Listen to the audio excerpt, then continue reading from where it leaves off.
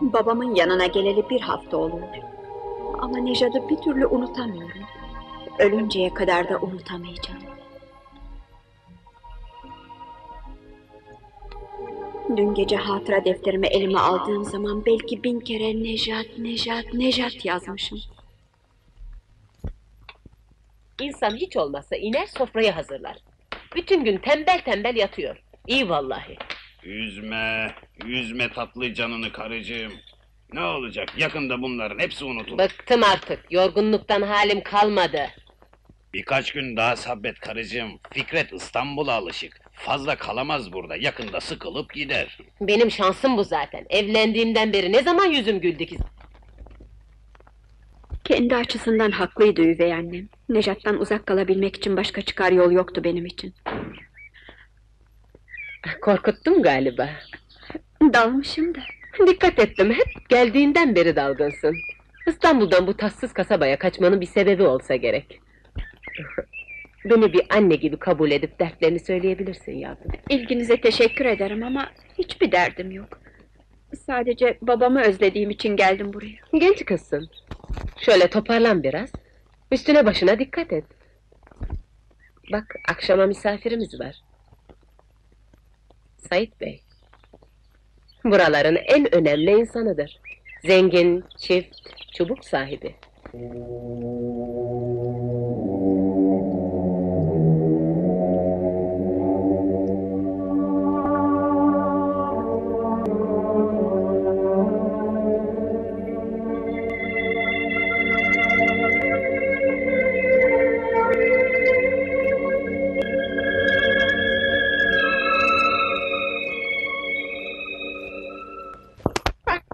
Olamaz. Ben evlenmem o adamla. Baban senin namına söz verdi. Herhalde mutlu durumda bırakmaz. Hasta bir insanım. Ben nasıl evlenirim? Babam benim namıma söz verirken bir kere soramaz mıydı? Seni isteyen kimse öyle bir devlet kuşu ki sormaya lüzum görmedik. Olgun, efendi, Karun kadar zengin bir insan. Seni mesut edeceğine inanmasak Eğer beni birazcık seviyorsanız acıyın bana. Hastayım. Bu evlenme ölümüm olur. sinirlisin yavrum. Bu gece iyi düşün. Yarın bana hak verecek, seni ne kadar sevdiğimizi anlayacaksın.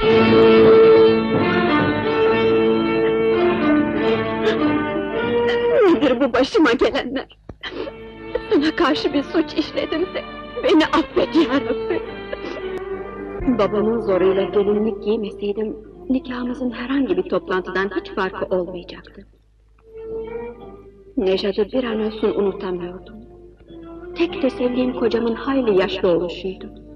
Hiç değilse genç bir erkeğin sevgisine sahte aşk gösterileriyle karşılık vermek zorunda değildim. Kendi derdimle baş başa kalabilecektim. Yatak odamıza girdiğim zaman gördüğüm bir gelin yatağı değil, ölmeden içine girmek zorunda olduğum karanlık bir mezardı sanki.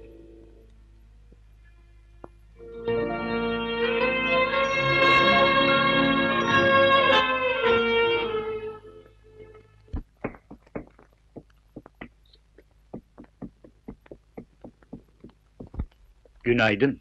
Günaydın. Renginiz çok soluk.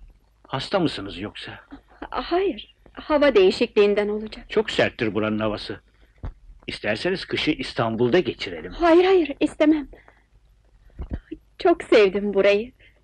Ağaçlar, çiçekler. Masallardaki gibi kocaman bir ev. Ne tuhaf. Ben bu bahsettiğiniz şeylerin farkında bile değildim. Yaşadığımın siz geldiğinizden beri farkına varıyorum.